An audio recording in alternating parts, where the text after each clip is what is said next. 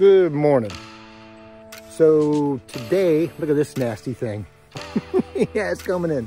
Uh, I think it's Wednesday. Yeah, Wednesday. So I'll give you a little explanation of what's going on. Um, you can see the hostel back there, around the bend hostel. Uh, we've been taking a lot of zeros. We took two zeros in Blood Mountain Cabins, and we're taking two zeros here.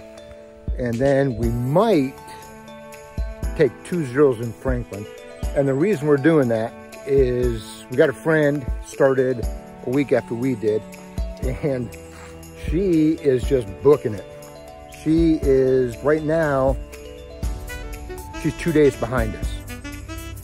I think she's gonna come here the day after tomorrow, maybe take a zero, but we all plan on meeting up in Franklin Monday.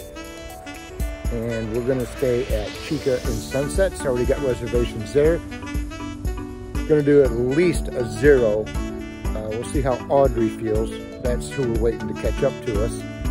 And if she wants to do two zeros, we do two zeros. But that's why we're doing this real slow and taking our time getting to Franklin.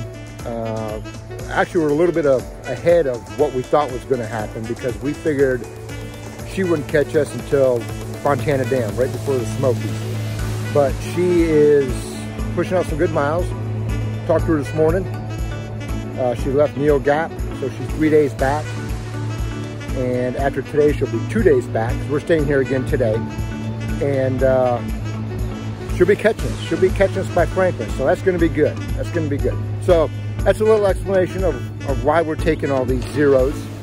Uh, and just want to let you all know because you guys are going, man, he's a week into it. He's only 60 some miles up the trail.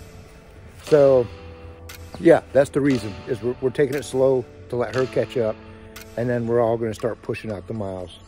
So uh, that's about it. I just wanted to give you all a real quick update and I'm going to make another video separate from this one uh, on this hostel and our town resupply and this is stuff we do around the hostel. All right, see you, bye.